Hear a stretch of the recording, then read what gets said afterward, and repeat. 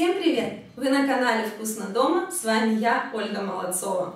В сезон ягоды я просто не могу не поделиться с вами, мои дорогие подписчики и зрители канала, своим самым любимым рецептом варенья из черной смородины. Это варенье называется пятиминутка. Дело в том, что ягода действительно варится всего 5 минут.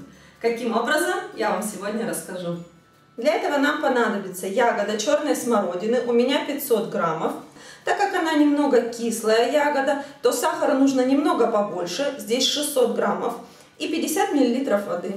Теперь нашу ягоду нужно поместить в удобную для варки посуду, залить водой, довести до кипения и проварить 5 минут. Ягода закипела, теперь нужно ее варить, помешивая.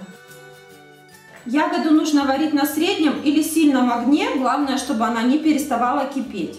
Прошло 5 минут, ягода сварилась до такого состояния и теперь нужно высыпать сахар. Сахар нужно хорошо промешать, не выключая при этом огонь. И когда он полностью растворится, ягоду нужно довести до кипения. Все, ягода закипела с сахаром, теперь ее нужно выключить и отставить в сторону остывать. Варенье остывало в течение часа. За это время оно вот так загустело, приобрело потрясающий красивый цвет, а самое главное, сохранило аромат свежей смородины.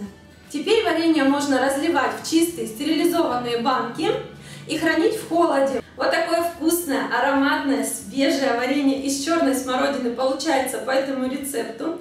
Его можно использовать в приготовлении домашних пирогов, домашнего печенья и даже тортов. Такие рецепты я обязательно в будущем буду снимать и показывать вам. Ну а если вам понравился этот рецепт, обязательно ставьте пальчик вверх.